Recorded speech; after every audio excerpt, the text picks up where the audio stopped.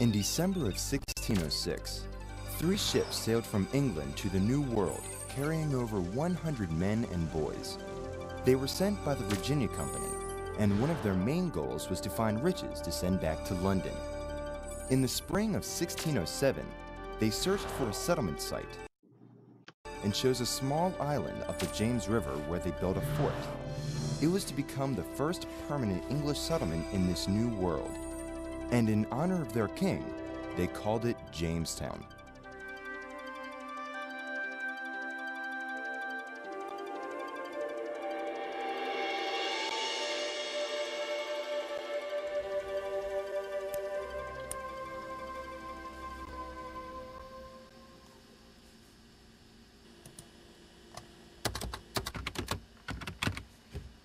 Jamestown. I've got to finish this research paper. Whoa, there should be something good in here. Are you ready to hear a tale about adventure and disaster and incredible courage? Do you want to hear what happened to the people of Jamestown? Whoa, it's like this guy is talking to me. I am talking to you. How can you do that? Where are you anyway? I'm here at the Jamestown Settlement Museum. Come on over and we'll tell you a tale that you may not have heard before. Oh, sure. How do you expect me to do that? Oh, this is the internet. Go anywhere you want. Yeah, sure. Whoa! Awesome! Is this really Jamestown Settlement? Well, we're next door to the historic site. This is a recreation of the fort as it was described about 1610. That's about three years after the first settlers get here. Now, what do you want to know about Jamestown? Well, I was wondering what something about 400 years old has anything to do with me. Well, tell me what language are you speaking? Well, English, of course. Uh, just assume for a moment that Jamestown never existed. We could be speaking Spanish today.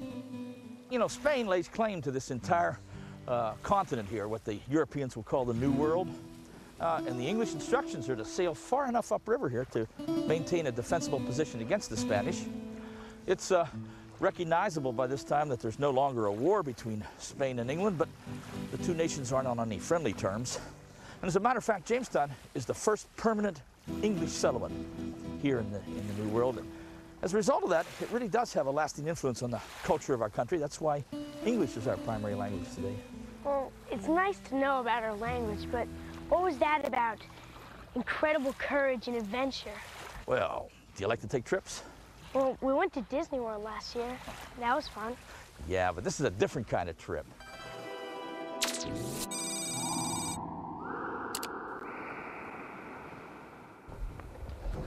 Awesome, we're on a ship. Well, how would you like to be down below here for almost oh, five months with 53 other guys? I don't think so. Well, you're below decks here of the Susan Constant.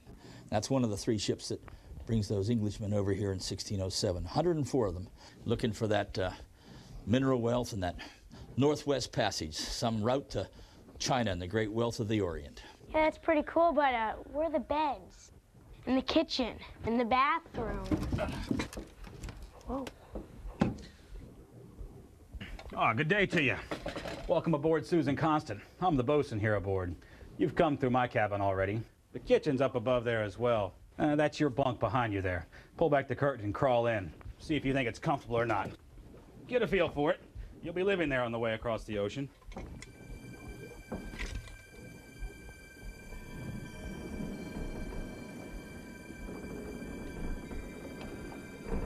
To endure and suffer.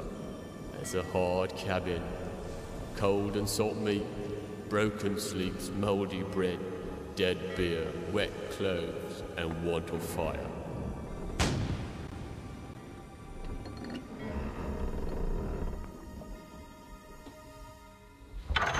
Did you guys hear that? There's this guy talking about moldy bread and wet clothes and want of fire.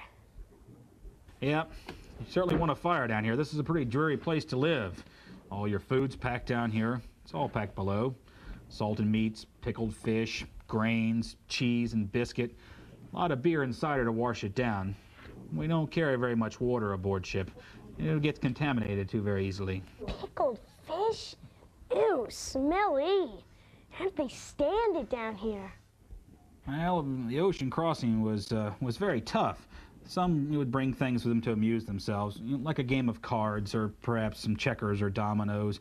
There were those who uh, brought musical instruments with them who could uh, entertain the rest of the people. But this was a, a very boring trip with so many men crammed into a small area. Were there only men? That's right.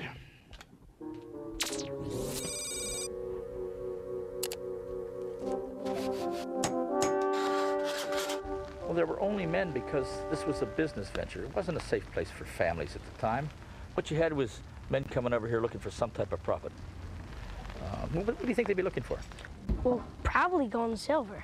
Gold, silver, copper, lead, iron, any kind of mineral wealth. Anything that they could use to, to turn a profit with. You have a group of investors back in England who have organized themselves into a company they call the Virginia Company. They asked the king for permission to come over here and establish this settlement that you, that you have here. Of course, now once they get here, they're going to have to build a fort like you see here. What do you think they want to protect themselves from? The Indians. Yeah, well, they came to trade with the natives, what they're really concerned about are the Spanish. They'll build the fort here when they get here. That's going to take a lot of work.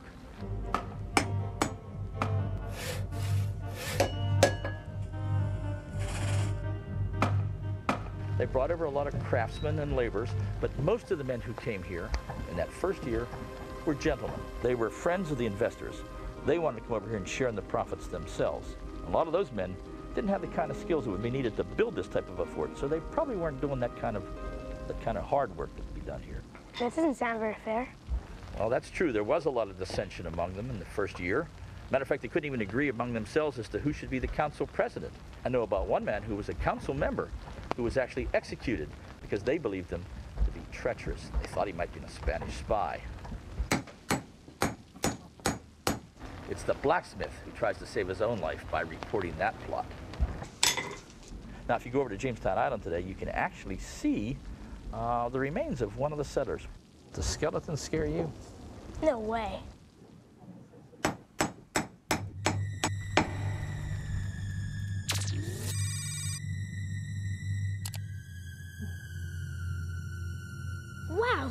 This guy? This is JR 102C. JR stands for Jamestown Rediscovery. That's the archaeological excavation where we where we dug him up. We're not sure exactly who he was. We know that he was buried there almost 400 years ago. So, how old was he? Well, he was probably about 18 to 20 years old, and they can tell that from features, uh, particularly in the teeth. His, uh, his wisdom teeth wouldn't have come in until his late teen years. You might wonder why such a young guy died, right? Well, he was shot in the leg, and the bullet still remains there. It was a was a real bad shot, and we know there was no sign of healing there, and no sign that anyone tried to get that lead out or to set the leg. And that's actually the back of his leg. It was broken so badly that it was twisted all the way around. He would have would have died from loss of blood. We didn't find any other injuries on him. We're not sure how he was shot, whether it was just an accident, one of the guys marching behind him accidentally shot him in the leg, whether he could have possibly even done that to himself while trying to load his gun. And there's, of course, always the chance that somebody shot him on purpose. This would have been a very hard life for a young man like this who probably got on a ship in England to come over here. He might not have known exactly what he was in for. And it was a, was a tough time for everybody living here at Jamestown.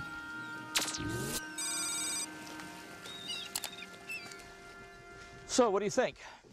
Not such a fun place. No, it's difficult to survive here. What are some of the basic things you're going to need to survive? Well, you're gonna need something to eat and gonna need a roof so you don't get rained on. Food and shelter, but also one more thing too. Water. Our drink was cold water taken out of the river at a low tide full of slime and filth. they have to drink this stuff? Well, they're digging shallow wells on the edge of the swamp. And so the swamp water is seeping into the wells, fouling the wells. And there's going to be a problem because they're going to be drinking a lot of water because of the intense heat of the summer months. They must have gotten really sick.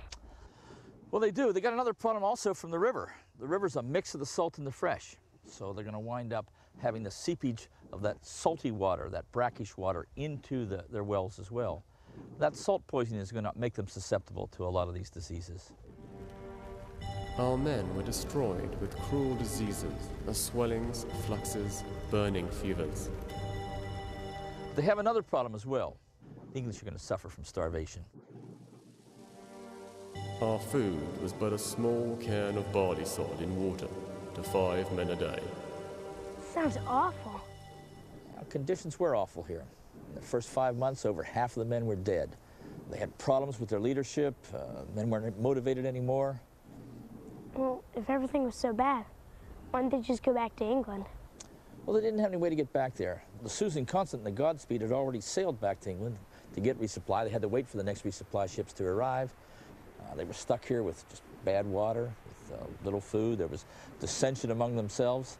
They had this constant fear of a Spanish attack. The English had one other thing to fear, too. More? Yes, from out there. June 8th, Monday, Master Clovel died. That was shot with six arrows sticking in him. Powhatans. The English called them savages, but the Powhatans didn't think much more of the English. Well, why didn't they like each other? Well, they didn't really understand each other. Well, I've heard of the Sioux and the Apache, but never the Powhatans. The Powhatans were gardening people that lived in the eastern part of Virginia.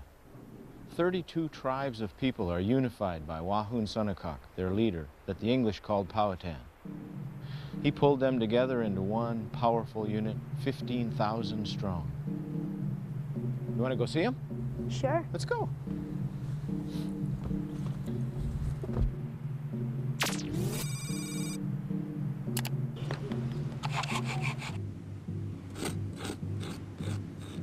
This is a recreated Powhatan village.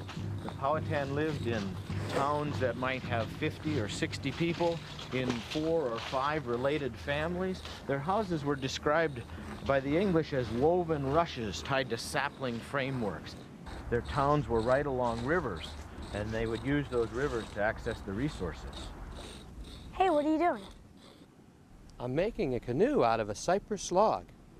The Powhatans would set a small fire on the log, and then they'd move the fire away and chip away at the charcoal that was created by that fire. You want to try it? Sure. Use an oyster shell to chip the charcoal. It's kind of hard work, isn't it? Yeah. Is that a Powhatan house? It sure is. Why don't we go see it?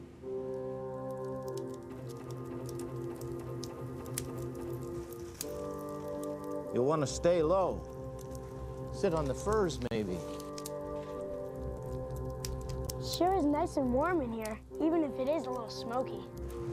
John Smith visited in a house like this in 1608, and he described the interior as a warm, dry, smoky place. This would be a house for a family of, oh, maybe eight or ten people, a big family. Everybody would live inside a house like this. Even the children? Sure. Children would sleep on the floor on furs, and moms and dads would sleep on these benches along the walls, wrapped up in deerskins for blankets. What's she doing? The soup is ready. Oh, she's preparing a meal.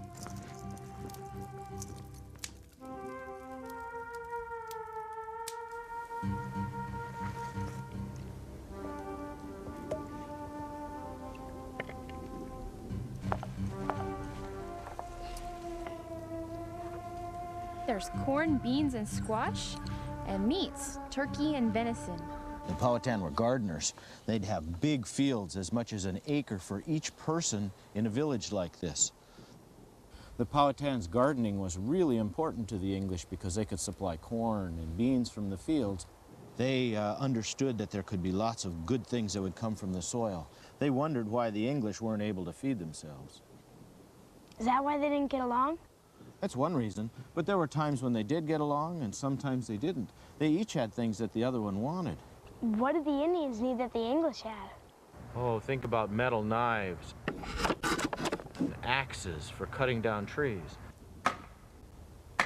When the English bring axes in, it would make their preparation of the fields much easier. The English had something else they wanted.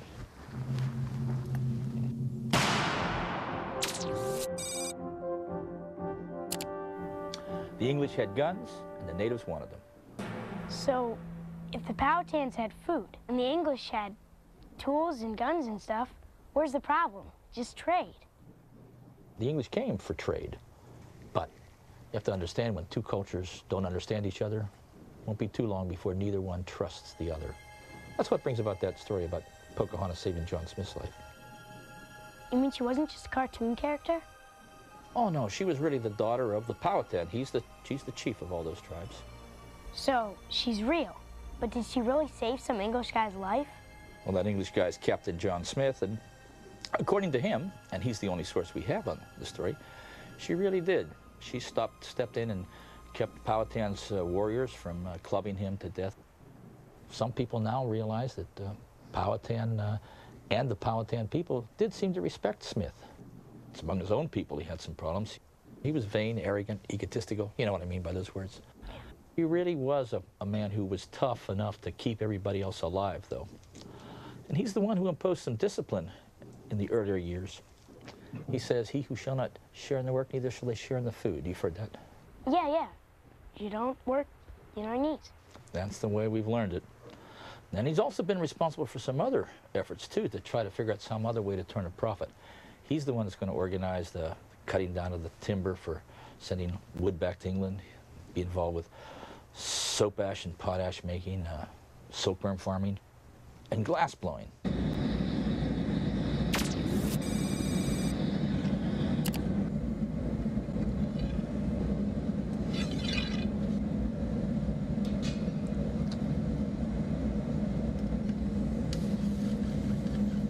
We've actually found the ruins of the uh, first glass house over on Glasshouse Point, and that's run by the National Park Service today.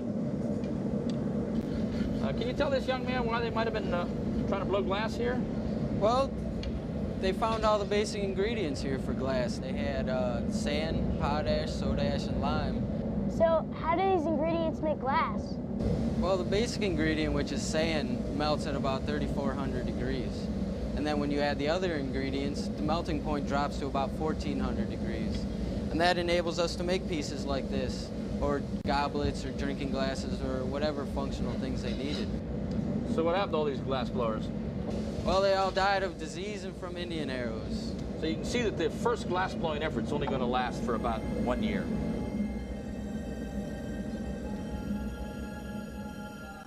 So, what happened?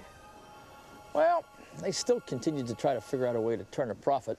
Um, they kept bringing over more men to take the place of those that died.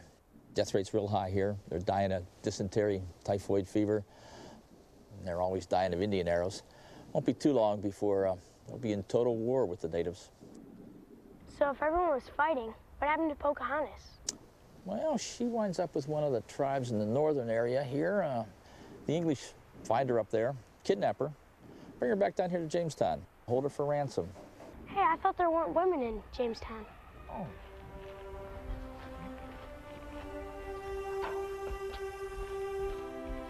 There were a few women here at Jamestown and even a few children. Some men paid extra to bring members of their families with them. But I think if they'd known how hard life would be for them here, they might have left their families back home. It was a hard life here. There were lots of rules.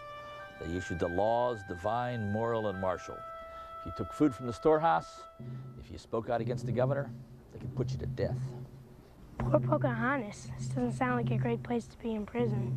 Well, actually, Pocahontas found a home here in Jamestown. She learned to speak English, and she even married an Englishman named John Rolfe.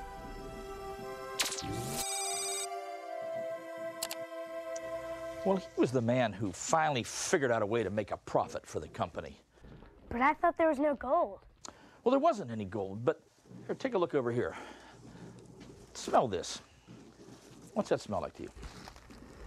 I have no clue. This is tobacco. This is a dried tobacco leaf. They call it the golden weed. They came looking for what? Gold.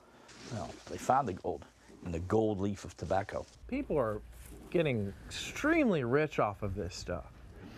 King James personally hated tobacco, but the crown was even making money off of it through taxes.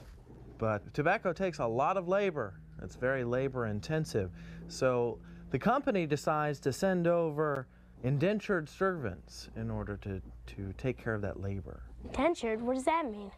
Well, kind of, it's kind of like a contract. Let's say that I indenture myself uh, to you, or how about better yet, you indenture yourself to me for anywhere from three to seven years. In exchange for that, I'd be obligated to give you some type of training, perhaps, but I'd have to give you food, clothing, a place to sleep. We're on the verge of starvation. My master Atkins have sold me for a hundred and fifty pounds sterling, like a slave. Were indentured servants slaves? No, not really. There's a term limit on the indenture. The- At the end of that certain term period, then they'd be free. The real problem's going to be that what they expected to find when they got here, when they were volunteering for this indenture to come here, wasn't what, uh, what they'd hoped. They're finding death, they're finding disease, they're finding warfare. Of the thousands of people who come here, six out of every seven men will have died. Thousands of men dying. Thousands of men died. I can't even imagine that much. There was a great deal of tragedy here, not only for the English who get here, but also for the Indians whose, whose lands are taken over just so that we can grow this tobacco. And there was another group of people that really didn't want to be here at all. You'll see the first Africans arriving here, coming off of a, a Dutch man of war where they were captured from a Spanish ship. When they were brought here, they were probably indentured here. But it won't be too long before we'll start to see an institutional form of slavery, chattel slavery, where men will be born into slavery here. Isn't there anything we can be proud of here? Oh, certainly. Of course there is. Come with me.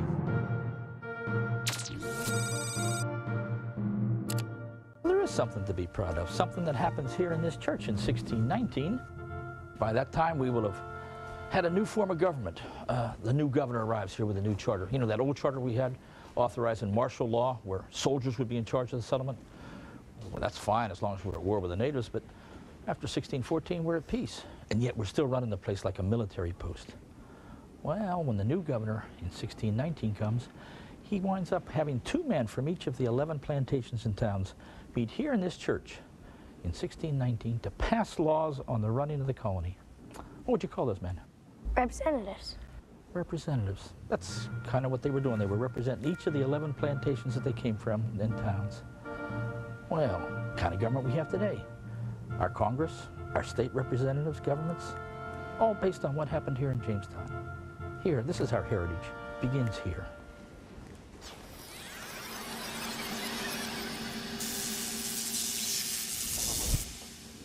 Whoa! Hey, Mom, guess what I just saw?